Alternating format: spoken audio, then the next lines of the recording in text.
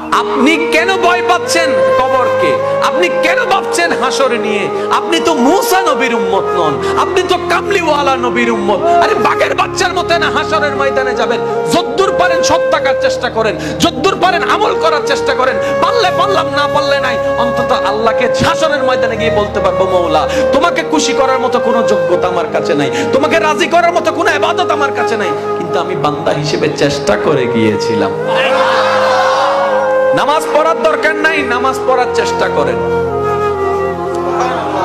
আমি আর কীভাবে জীবনকে সহজ করতে হয় আমার জানা নাই। আমি যত সহজ ভাবে বলা যায় আমি বলার চেষ্টা করছি। আল্লাহকে রাজি করার মতো কোন যোগ্যতা ক্ষমতা আমাদের কাছে আছে? তা আল্লাহরে যদি রাজি করতে না পারি কবরে যাইলে তো? কবরে যাইলে কি? মায়ের মায়ের কবরে যাইলে কি? হাসরে গেলে যদি আল্লাহ রাজি না হয়। কোটি বছরও পারব না। সেজন্য দোয়া করবেন, আল্লাহ, তুমি রহমান, তুমি গফফার, তুমি সত্তার। তোমার এত বিশাল জান্নাতে আমাকে ছোট্ট একটা জায়গা দিলে কম হবে না। আরও জোরে বলেন না রে ভাই। ও আরও দশটি আদ। ইদা হদে কি? হাতুন ফস নাকি? হদে না বিখ্যাত ওই হদিল্লে করি কাজ বিজ্ঞার আওয়াজে বিল্লে নাম করিব না আচ্ছা বিজ্ঞা কি টাকার কথা আগে বলে না কাকে কাহিনী বলে?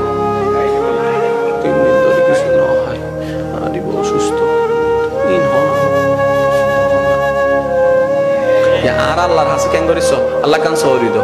আল্লাহ গিয়া ব্যবসা দো আগে কিছু নাই। সেজন্য নবী বলেছেন, যখনই দোয়া করবা আল্লাহ দরবারে হাত তুলবা, নিজেকে আগে ভিক্ষুক বানাও। আরে রে ভাই সুবাহান আল্লাহ নিজেকে আগে মনে মনে কি বানাও? ভিক্ষুক বানাও, রহমানের, রহমতের দরবারে ভিক্ষুক হিসেবে দাঁড়াও। দাঁড়িয়ে বলো, সর্বপ্রথম আল্লাহর প্রশংসা করো। আল্লাহ, তুমি রহমান, তুমি গফফার, তুমি সত্তার, তুমি জব্বার। তুমি দিলে তো কমে না, একটু দাও না।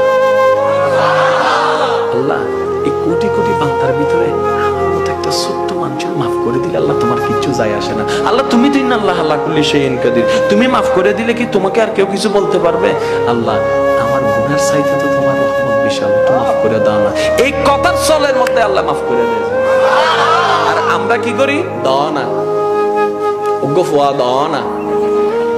কথা বলেন না রে ভাই। যতগুলো নবী সন্তানের জন্য দোয়া করেছেন, জাকারিয়া ইসলাম দোয়া করেছেন কি? আল্লাহ আমাকে একটা সন্তান দাও। না না না। কীভাবে দোয়া করেছেন? যেমন ইব্রাহিম নবীর দোয়া। হ্যাঁ আয়াতের মধ্যে আছে, আল্লাহ আমাকে এমন একটা দাও যেটা আয়েশা কোরআন তেলাওয়াত করবে, যেটা অপবিত্রকে পবিত্র বানাবে। কাহিনী বইলা তারপরে বলে যে একটা দাও না। যেটা দিছে সেটা মোস্তফা হয়েছে। আরও জোরে। আমরা আসলে চাইতে জানি না না হয় ভান্ডারে কোনো কমতি।